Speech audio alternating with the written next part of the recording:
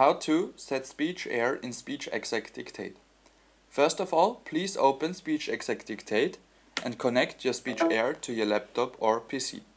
Once this is done, you can see your connected device displayed in the bottom left corner. To configure your SpeechAir, click on the icon for SpeechAir configuration settings in the toolbar. You can find it next to the general settings.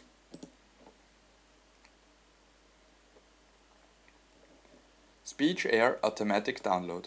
Select Automatic Download to enable files to be downloaded automatically from your recorder.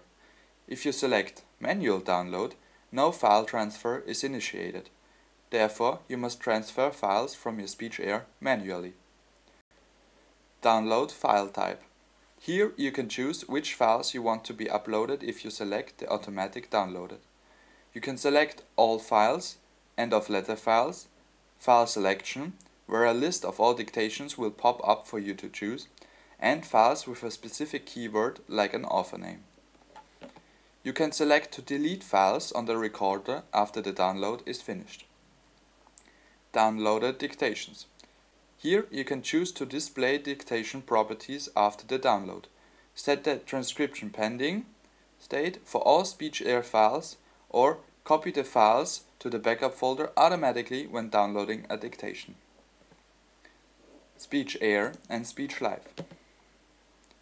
In this dialog, you can specify the target folder of the dictation files that are downloaded from the SpeechAir device to SpeechExec. You can choose between SpeechLive folders, local folder, or always ask. Device configuration. SpeechAir Wizard. Use this option to change simple settings of your SpeechAir, like side switch, recording, author, work type, and more. SpeechAir Management Software. Here you have many possibilities and options how to configure and personalize your SpeechAir. To update your firmware, please click on SpeechAir and select your folder. Furthermore, there are general settings, audio settings, network folder settings, the forwarding settings, workflow and security.